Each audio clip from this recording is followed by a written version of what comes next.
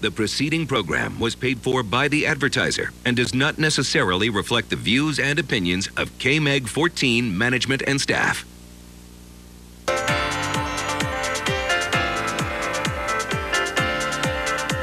Happy 50th anniversary, KMEG 14. From all of us at CBS this morning, Happy anniversary, KMEG 14. Congratulations on 50 years in Siouxland.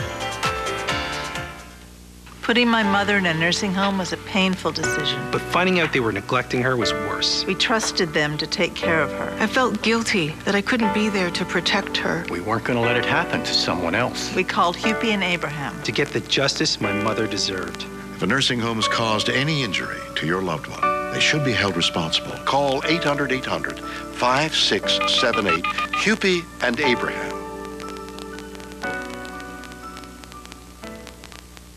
Go to SiouxlandNews.com and sign up for our new and improved weather text alerts. We want to make sure you know what's happening right where you live. So now you can click on weather, then text alerts, and select your home county to receive updates during severe weather. Thanks for watching KMEG 14.